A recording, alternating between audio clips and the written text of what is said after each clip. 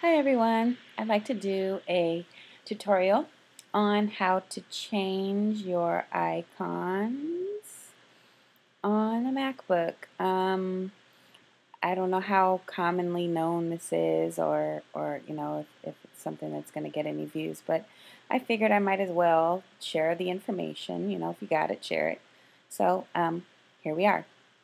Now the first thing you need to know is um, on your Mac, uh, your system has to be at least version 10.4 or greater in order for this to work. I don't know anything about um, versions earlier than that. So, um, as you can see, I have changed pretty much all of my icons, and there there really aren't many left to um, make changes to, but I'm going to show you one here. Give me a second. I'm going to do my switch. I just did a, a, a, trial run, and so I have changed the switch um, application um, icon already, but I don't really like it, so I'm going to change it back. Now, it's important to know in the beginning um, that if you have your icon in the dock already, you want to remove it. Um, I mean, it doesn't really do anything, but when, once you do change it in your applications, it won't change on your screen until you remove it and put it back anyway. So you might as well just go ahead and remove it. You can either remove from dock or you can just pull it out and let go and poof, it's gone.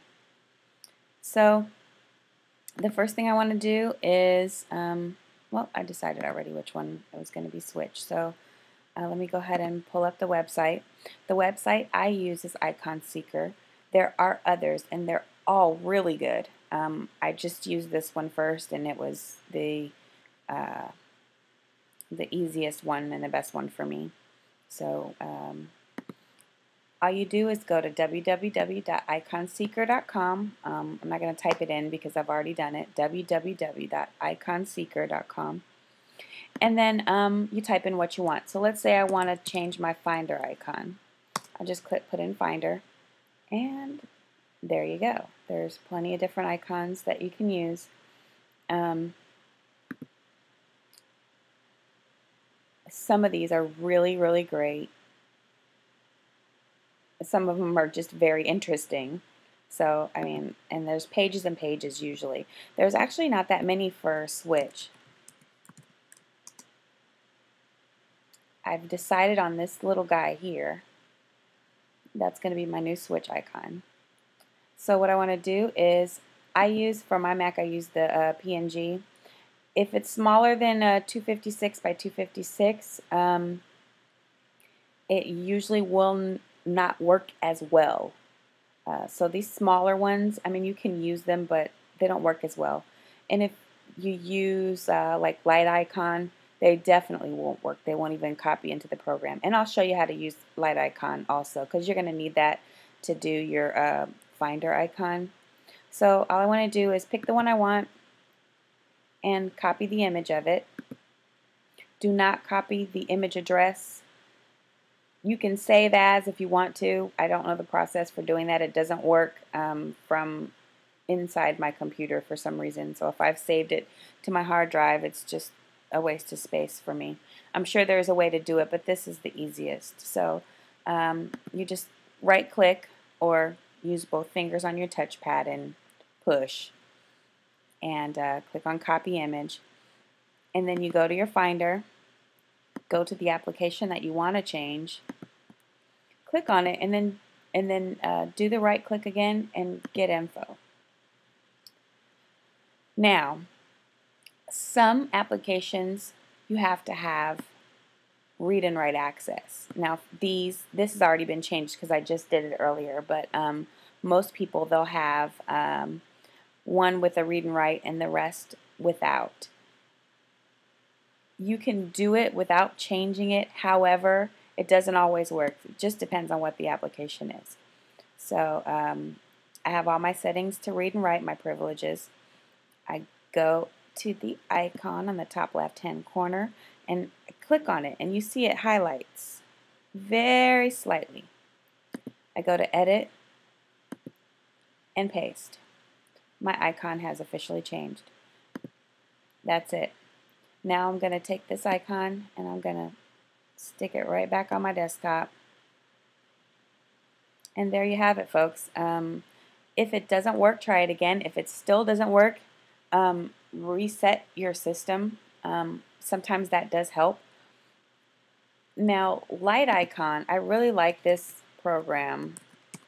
It, not like icon. I can't type or talk today. There we go. It's it's a pretty neat little program, and of course, it's free. Um,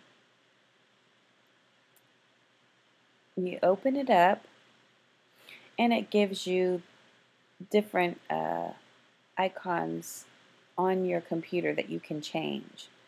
Uh, some of these I've already changed, and some of them I have not. Full and empty trash can, as you can see, my trash can is a little different. And when I go in and actually empty it, you'll watch the icon to the right.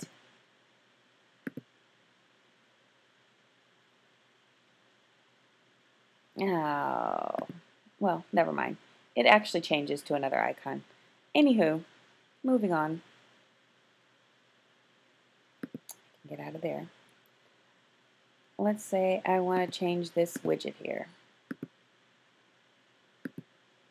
This is the issue that I have. And the only issue that I have with LiteIcon is that sometimes some of these just don't work. For instance, this 128 by 128. When I go to, you just drag and drop your pictures directly into LiteIcon. And the issue that I have with that is the smaller icons won't drag and drop. You have to use the larger versions. If you can't find the larger version, version, then you have to do it the way that I that I told you. Um, that's pretty much the only thing I can think that um, the reason why it doesn't really work. Um, so uh, subscribe, post comments. I don't usually do videos like this anymore, so I'd like to hear your feedback. If I rambled too much, please let me know, because I, I, I probably will do a video again. So thank you all for listening and tuning in. I really appreciate it. Yeah, the 256 by 256 usually works a little better. And there are probably better programs out there. I, I haven't done any research. I just came across this one um, and figured I'd share. So, hope you enjoyed your video. Like I said, if you have any questions, please let me know.